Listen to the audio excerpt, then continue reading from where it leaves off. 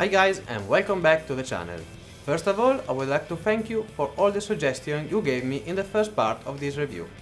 I would like to keep this channel interactive, so please keep doing that. In this second part of the review, I'm going to compare the Ryzen 7 2700X with 4 different motherboards against the Core i7 8700K with an Asus Maximus 10. The first test I want to show you is the frequency scaling of the Precision Boost overdrive. To do that, I'm using a Cascade phase change cooler and bring down the CPU temp to minus 95 degree and gradually raise it, so you will see the scaling of the temperature and the frequency speed. This is the unit I'm using.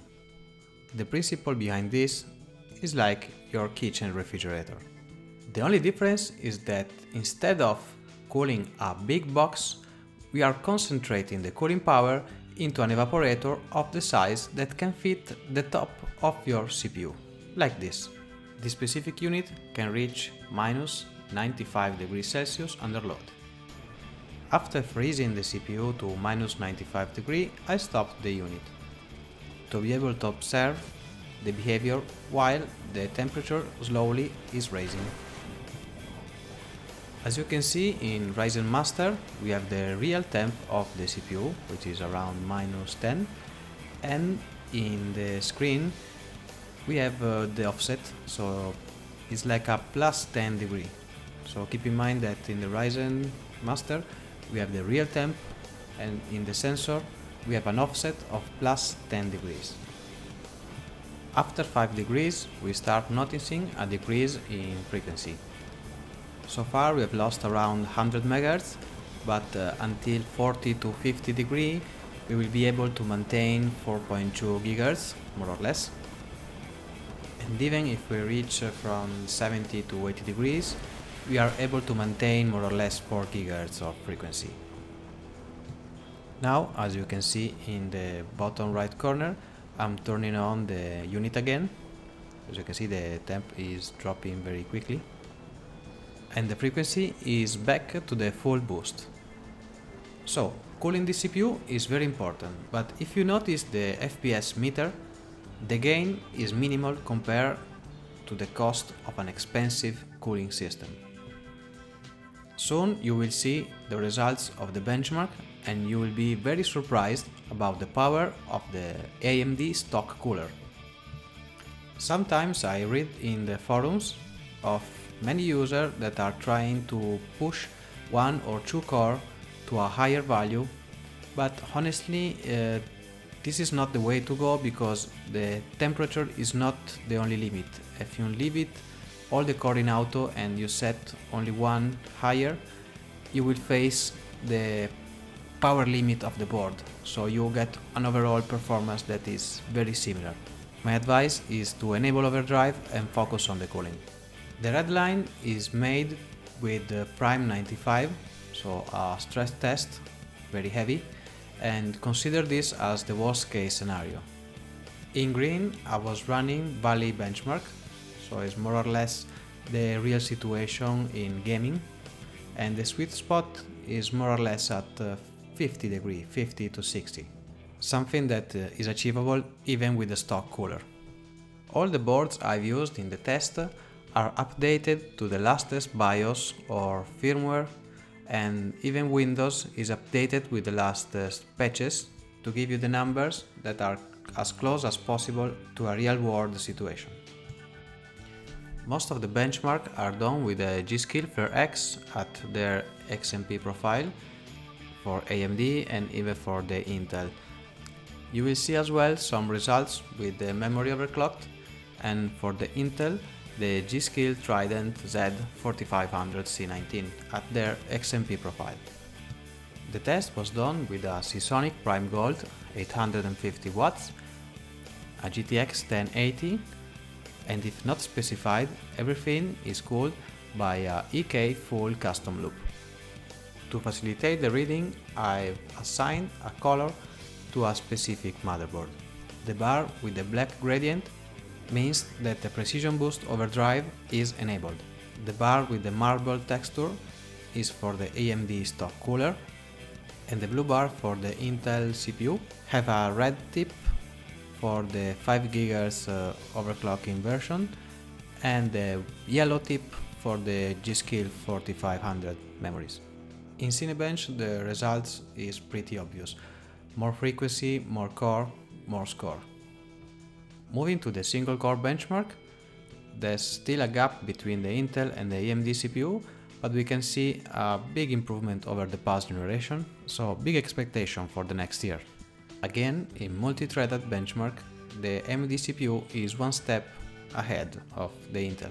In PCMark 10 Extended, Intel is still uh, the first place, but we are talking about only a 5% of difference.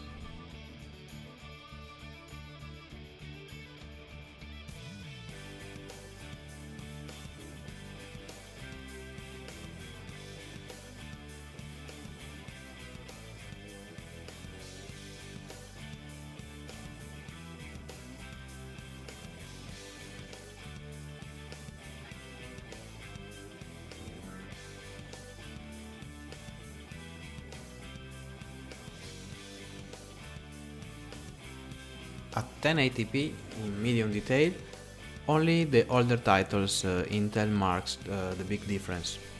And one thing that uh, surprised me is the older generation of Ryzen that seems reborn with the last uh, AGESA BIOS. In the following test, keep in mind that I'm using high details but not the maximum to avoid being bottlenecked by the GPU. And probably in a real world situation, if we have a 1080 GTX, you are likely going to use the maximum settings.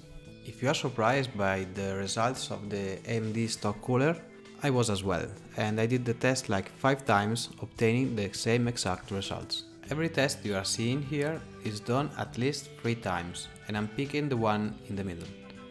And if I see something weird, I will repeat the test until I get the full confirmation that the test is accurate.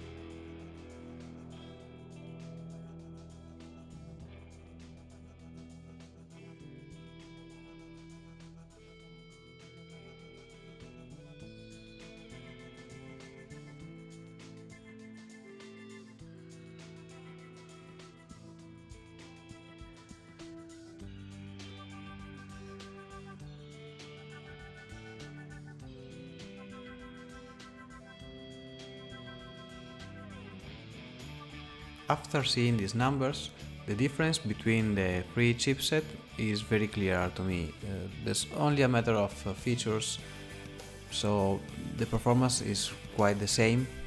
And if you have a, already uh, an AMD board, you can just keep it and mount the new CPU. Unless, of course, you need like the doubled M2 slots. To give you a quick feedback about the board I tested, the new Gigabyte X470 was very stable, uh, complete BIOS from day zero, no issue and very great performance overall. The MSI X470 is a nice board, a little below my expectation, the initial BIOS was very basic and to be able to enable the Precision Boost Overdrive I had to install a beta version of the BIOS and as well something I found weird is the M2 heat spreader is a single piece for the 2 slot so if you have to remove your storage you have to remove as well your graphics card and uh, was not very practical. The Asus Crosshair 6 Hero is that kind of old but gold. is a top performer and with the Lusters BIOS I found a very good board with uh, all the features and nice performance. So if you own one, again if you don't need the second slot for the M2 storage, uh, you will be perfectly fine with this board. Last but not least, the Gigabyte AB350N. Uh, I call it a small champion because it's able to keep up with the higher class board. is perfect for a mini ITX performance build. In the next part of the review, I'm going to check how the memory frequency and timings are affecting the performance. Plus, I'm going to freeze the CPU to below minus 95 degree and run some benchmarks, even play some games and just to see what the FPS looks like. Okay, so as always, drop a comment in the section below, let me know what you think and see you in the next video.